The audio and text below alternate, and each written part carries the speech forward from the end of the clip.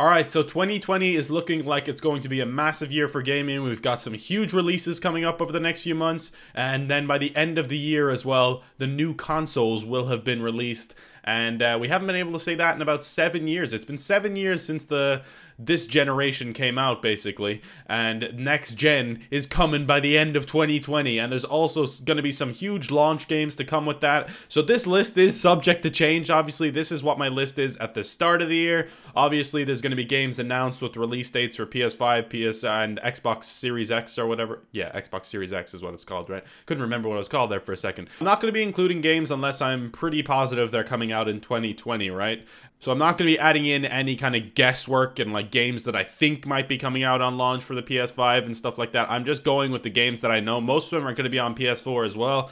And uh, we're just going to jump into a top 10 list, basically. I do want to give a shout out uh, quickly to Hellblade. This would be probably in my top three most anticipated games uh, if I was sure that it was going to be coming out in 2020. I'm not sure if that's going to be a launch game for the Xbox Series X or it's going to be a couple of months after release, maybe sometime at the start of 2021, something like that. That's kind of what I figure, but I could be wrong. It could come out in 2020, and if it is coming out in 2020, top three, okay? Because I loved the first Hellblade. I, I just put up my games of the decade on Twitter, my top 10 games of the decade on Twitter. Uh, if you want to follow me there, you can. Uh, I, it's the same as my YouTube channel, the Apex Hound. And I had Hellblade in the top 10. I had it at number 10, uh, which is quite a feat, you know? Over the last 10 years of gaming, Hellblade is in the top 10. So without further ado, let's get into the top 10 most anticipated games for 2020. Let's go. So, quick little honorable mention I wanted to give to Godfall because I'm pretty sure that's a PS5 launch title. Uh, it does look cool, but I haven't seen enough of it. It kind of looks like a, a, hack and slash maybe type game, but uh, the graphics look insane and the gameplay did look fluid and fun. So, just a quick little shout out to that game before we get into the actual top 10.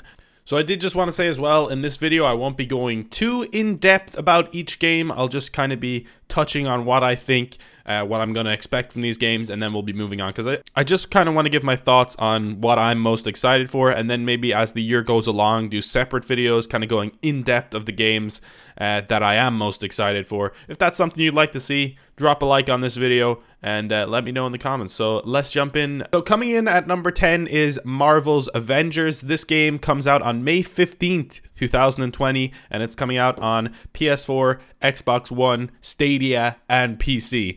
Uh, so it, it, looks cool from what we've seen so far. There was a bit, a little bit of mixed reception, uh, basically because they're not the same characters as, as the Marvel universe or whatever. But I didn't really expect them to be. That would cost way too much money, and uh, they probably don't want to blow all their budget just on getting Robert Downey Jr. to voice uh, Iron Man or something like that. But anyway, uh, the characters to me look pretty cool. Uh, you're gonna play as Captain America, Iron Man, Hulk, Black Widow, Thor, ha- ha- I was about to say Hawkeye, Hawkeye, and uh, Miss Marvel as well. Uh, I don't know if that's all the characters you play as, but those are all the announced ones. They have a couple of announced villains as well, like Abomination and Taskmaster, and they showed off some cool gameplay as well. It looked like there's a lot of QTEs involved, uh, but at the same time, it, it, looked pretty badass. And the Black Widow versus Taskmaster fight, especially to me, was really cool. Uh, but flying around as Iron Man, playing as Thor, makes you look powerful.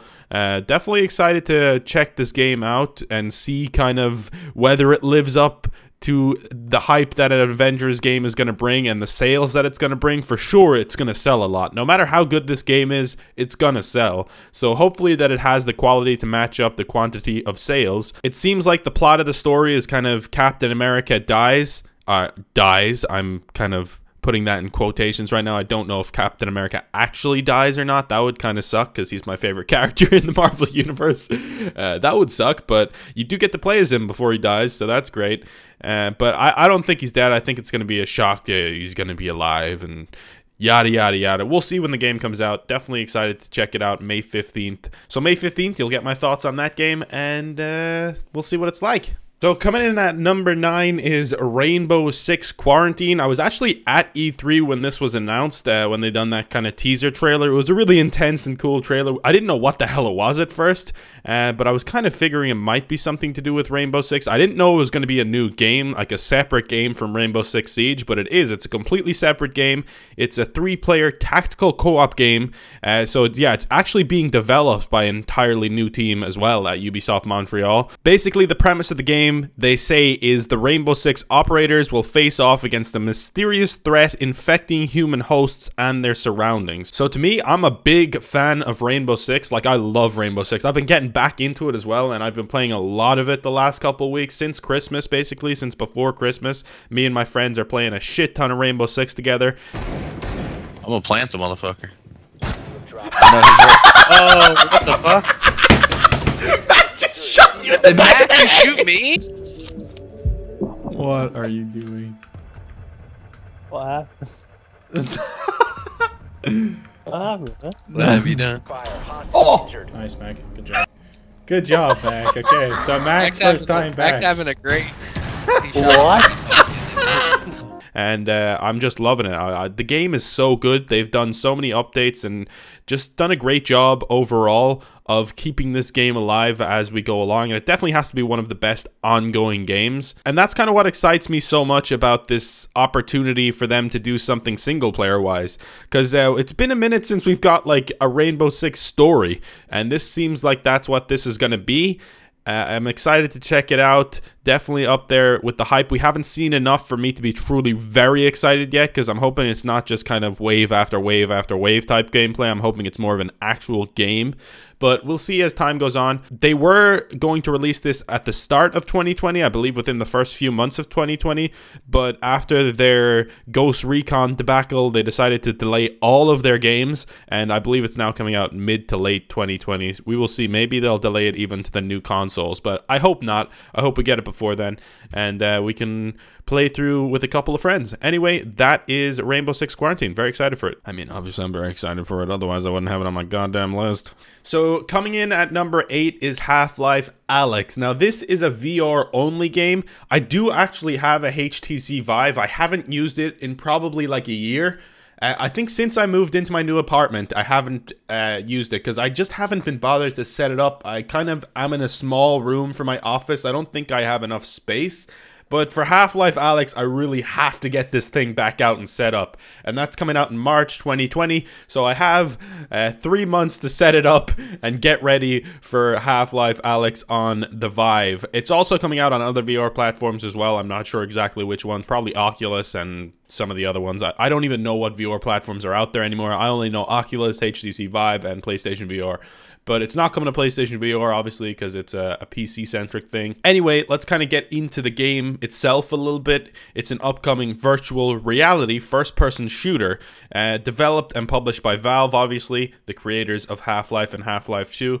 Uh, it takes place before the events of Half Life 2, so it's a prequel to Half Life 2, and you control Alyx Vance as she and her father Eli fight the occupying alien combine. From what we've seen so far, it looks to be taking VR uh, to the next level. It looks awesome. There's a lot of cool VR experiences out there, but I'm not sure there's any real like uh, full games of this quality. And we'll see if this is going to bring new people over to the VR world. I'm sure that it will. People will just be, it will be too much of a task to turn down playing another Half Life game. So I'm sure there'll be some people getting their first VR headset just to play this game alone. And that's what uh, Valve are trying to do here. They're trying to make this a flagship title for VR. And I think that is exactly what it'll be. It'll be great um, for VR in general. And I, I people roast me the way I say VR, okay? That's literally the way we say or in Ireland, okay? Uh, I don't say R or whatever. I know people say R. I don't. I, I've never. I don't know. I. Anyway, whatever. Who gives a shit? Okay, I'm Irish. Let me off the hook. Yeah, it's crazy that game is coming so soon after being announced, and we will see it very, very soon within the next couple of months. Anyway, moving on to the next game on the list. Coming in at number 7 is Halo Infinite. Now, if you've been following my channel, you'll know that I've been playing the Halo games recently. I played Halo Reach, I've been playing Halo 3 ODST. I've only played like the first hour of that game. I still need to get back to that and continue that playthrough on my channel. Uh, but back a few years ago when the Master Chief Collection first came out, that's when I actually first played the Halo games because I was always a PlayStation kid growing up. But I really like the campaigns. I've never got into the multiplayer of Halo. I know that's where it shines and people really loved the multiplayer back in the day.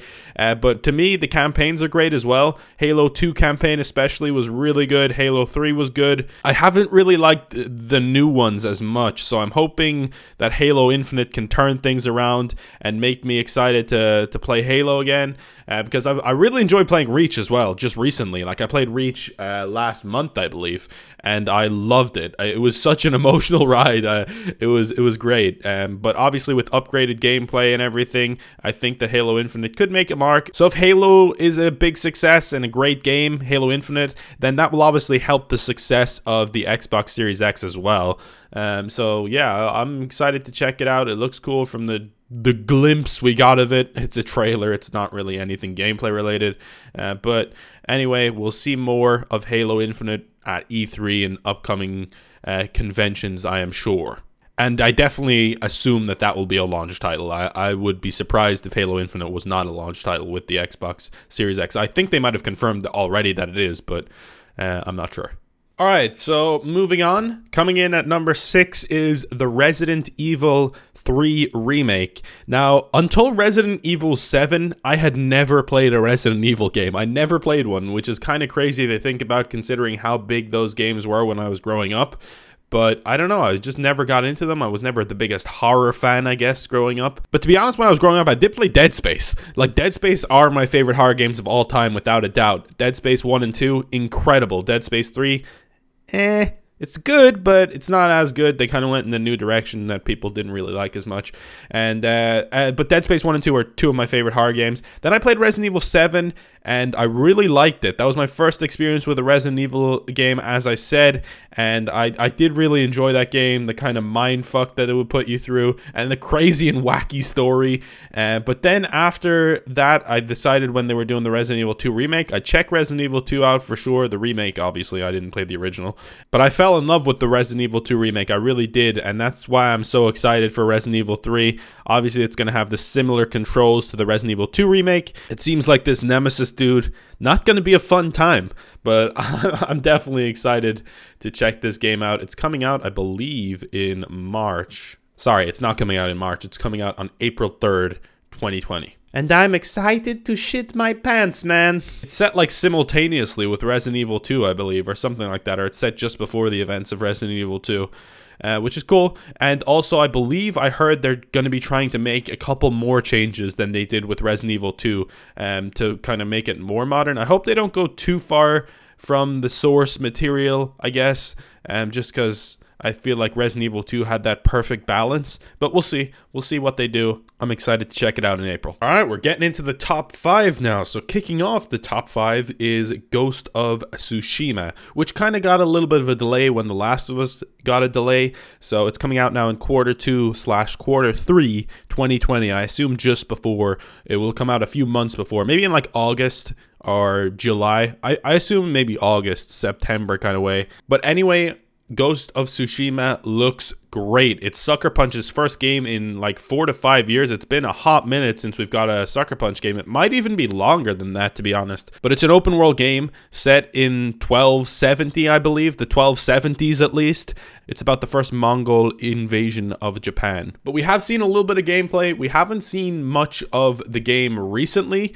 We saw a trailer, but they didn't really show any gameplay. They put in a little bit of gameplay, like a kind of couple little moments there, but there was nothing too crazy. I'm hoping we see more of this game soon because it is coming out towards the end of the PS4 life cycle. I hope that doesn't affect it sales wise. I hope that the game doesn't get shafted because of that, right? But there has been scenarios where it has been successful, a la The Last of Us, but they did do a remaster. The gameplay that they did show of Ghost of Tsushima though looks amazing. It looks to me kind of what like a modern Assassin's Creed should look like, uh, but uh, just gameplay wise, I'm not speaking about setting wise or anything like that, obviously but the stealth aspect and the kind of taking people down, the sword fighting looks amazing. Just appeals a lot more to me than kind of the the route that Assassin's Creed has gone in the RPG kind of I don't know. Feel like every game is going that route, the open world RPG, and I'm like, I'm kind of sick of it at this stage. But this game, it, it is open world, but it's definitely not an RPG, and it looks incredible gameplay wise. I can't wait to get in and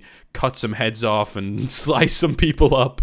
But yeah, hopefully another masterclass in storytelling from Sony again. That would be great if the story on top of the gameplay was awesome. You know, that would turn out for a pretty great game. Anyway, uh, we're moving into the next four games. I have seen, I'm kind of biased because I have seen three of these next four games behind closed doors at E3. But I guess that kind of gives me a new perspective on why I'm excited for these games. I've actually even played this next one coming in at number four, Watch Dogs Legion. I played this for about an hour at E3 and I, I really enjoyed it. And I thought that I wasn't expecting to like Watch Dogs Legion as much as I did, and I wasn't expecting it to look so cool. So it's set in a fictionalized London where the government has kind of taken control of everything, and you're everyone's losing their freedom. And you are part of a hacker group called DedSec. Uh, there's no respawn, so if you die, your character is dead, but you have multiple characters, which I think is such a great idea. You can also recruit any character in the world to DedSec, which is in the world of, well, I don't mean in the world, but in London in the game. you know what I meant anyway. And each character has their own background and skill set to provide kind of an influence on the game, I guess. And uh, so uh, I don't know how this will work for the narrative of the game. I'm hoping it doesn't affect it too deeply because it seems like I don't know. It, it seems like it would be hard to create a story around any character, right? I don't know. We'll see how it works. I'm a little bit apprehensive about the story of the game, but also the gameplay. What I played was incredibly fun. The different way you can do things. You can do things stealthy. You can go in guns blazing. Uh, but just the different kind of variety of weapons and tactics you have with what you can hack and what kind of vehicles you can get. You can get kind of drones as well that go in there and do a job, spider drones, uh, actual tank drones. There's all sorts of different things that you can do, uh, which kind of opens up new paths uh, to completing a mission, which is really cool. This game was scheduled to come out um, in March. I think it was scheduled to come out March the 3rd, but as I said, this is the second Ubisoft game. They delayed all of their games, and it's now going to be coming out in the 21 2020 I was about to say 2021 last last week I said 2010 and this week I said 2020 like what is wrong with me? God damn it. The 2021 fiscal year which uh, begins April 1st 2020 so I assume it's still going to come out before the life cycle of PS4 or PS5 and Xbox Series X but you never know. It might actually be maybe a launch title for those consoles or it might come out a little bit after. We we don't know. We shall see Renly come the dawn, we shall see. So, kicking off the top three is Dying Light 2. This is a sequel to a super underrated game, in my opinion. I feel like Dying Light doesn't get the praise that it deserves. But this next one looks like it has taken a massive step up, and I have seen this behind closed doors. It does look absolutely incredible. I saw about maybe 45, 50 minutes of gameplay of Dying Light 2 and I was really impressed. I really feel like this can be a game of the year candidate and it's coming out in spring 2020. It seems like choices are a lot more prevalent in this game. It's set 15 years after Dying Light. You're playing as a new guy called Aiden Caldwell, who obviously has massive parkour skills because parkour is a huge part of the Dying Light universe. Also, the parkour looked a lot more in depth. There's now a grappling hook and a paraglider uh, that you can use to traverse the world, which looked incredible. I think they've actually shown the gameplay demo that they showed us behind closed doors to the public now, and they kind of started it off with a little bit of backstory, introducing us to the characters. And then after that, there was a little bit of a chase where they showed off the parkour, and it really was impressive with the grappling hook and the paraglider. And they really did kind of emphasize how important your choices are in this game. There's a lot of different routes you can take in this game. Like there's certain areas that will never even open up to you based on your decisions. Like you may go through this game without opening up these kind of open world areas, which I think is a really cool premise of the game. Like your decisions really do matter in this world. And they showed that in this demo as well. Like based on the allies that you choose and the decisions that you make, it really impacts the the outcome of the story that you're involved in. The gameplay looks brutal. They were cutting heads off. They were doing all sorts of shit. It looks brutal. It looks fun. And it looks like a, a, brilliant continuation from Dying Light. I'm very excited to check this game out. You can probably guess my top two right now. But coming in at number two is Cyberpunk 2077, a new IP from CD Projekt Red, who obviously made the Witcher games, which are some of my favorite RPGs. I love those games. I love the Witcher world, the universe. So I'm excited to see what they create with Cyberpunk. So far, it looks amazing. It's played in a first person perspective. You play as a character named V, whether it's male or female. You choose what the hell you want to be, what you want to look like. Obviously, there's going to be tons of different customization and modifications because it is a cyberpunk dystopian universe. There's also different classes like hacking, machinery, combat classes, and there's obviously all the normal stuff of an RPG like a perk tree and uh, different kind of implants you can put in in yourself, which is more in line with cyberpunk, uh, basically like military upgrades to your body. So it's set in an open world night city which is in California. It has six regions, and all of the regions are kind of like different in the way that they are. There's like a, a wealthy region, there's like an immigrant inhabited region, there's gang infested regions, and I'm really excited to kind of check these out and see how different each region really is. It seems like there's going to be slum regions, like just rich. Re- there's obviously only six regions, but I think that the difference in them is going to be incredible, and I can't wait to scope them all out, honestly. Obviously, as well as I was talking about in Dying Light, your decisions in this game are obviously going to matter as well. This is an RPG. I'm just really excited to explore the world of Cyberpunk, and I know that the story is going to be great as well because CD Projekt Red only make great stories. I just I'm really excited to delve into Cyberpunk 2077 and we don't have to wait that long because it's coming out on the 16th of April, which is just over 4 months away. I'm ready to be blown away by this world. And if you haven't seen any of the gameplay or the trailers for this game, then I'd highly recommend checking them out. I will have some gameplay or trailers up in the back of the background of this video, but kind of just to get the full scope of the game, I'd go and check them out. Now, coming in at number one is The Last of Us Part 2. I couldn't not have this game at number one. I just love the first one so, so much, dude. I really do. I, actually had it at number two in my games of the decade after Uncharted 4. If you saw my tweet, you would have known that. But uh, yeah, Last of Us Part 2 is my most anticipated game of the next decade. and it's coming out May 29th. There was a slight delay, but that's okay. I'm I'm okay with that. There's so many games to play between March, April, and May. It's coming out the end of May. Hopefully, uh, I'll be done with Cyberpunk by then. Probably not, considering how long and kind of fruitful that game is going to be. There's going to be so much to do in that game. But Last of Us Part Two, uh, I want to just fully delve into it and only be playing that game at the time. I don't want to be playing anything else. I just want to focus completely on The Last of Us Part 2. Just see what's happening in the world. See what's happening with Ellie, what's happening with Joel. I just want to know, is Joel okay? Is Joel okay? I swear to God, if they hurt Joel, if they hurt Joel, there's going to be a problem. There's going to be a big, big problem between me and Naughty Dog if they hurt Joel. So, if you didn't know, The Last of Us Part 2 is set five years after the events of The Last of Us. Uh, the crazy ending to The Last of Us, the emotional ending, the kind of just shocking ending, I would say. Um, and you control a 19 year old Ellie now. Kind of crazy. She looks great in the game. Her character model looks insane. Joel looks a hell of a lot older. He definitely looks like he's aged more than five years. But I'm just so, so excited to see if Naughty Dog can match the first game or even top the first game.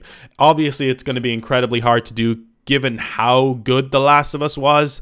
But if anyone can do it, Naughty Dog can do it. I feel like they've done an, the absolute perfect job of finishing off Uncharted 4. And I don't think there's going to be another Last of Us game after this one. I really don't. I think that this is going to be the last Last of Us game, the last Last of Us game, and I think it's going to finish off on a crazy note. But enough rambling. That's my most anticipated game of 2020 and those are my top 10 most anticipated games of 2020 let me know what you thought of the video. Let me know your most anticipated games maybe your top three if you don't want to do a top 10 if you want to do a top 10 do a top 10 let me know in the comments. I'd love to get all your guys opinions and see the different opinions that everyone has uh, because i know opinions in gaming differ quite a lot. So I know that there's going to be some strange lists out there. Maybe you guys think my list is strange, but uh, anyway, hopefully you guys enjoyed the video. I'll see you guys for more content in the very near future. If you want to follow me on Twitter, Instagram, uh, join the Discord, all that kind of stuff, you can do so in the description of this video. Thanks for watching, and I'll see you guys next time. Peace out. Alright guys, so I just wanted to take a minute to thank my members at the end of each video.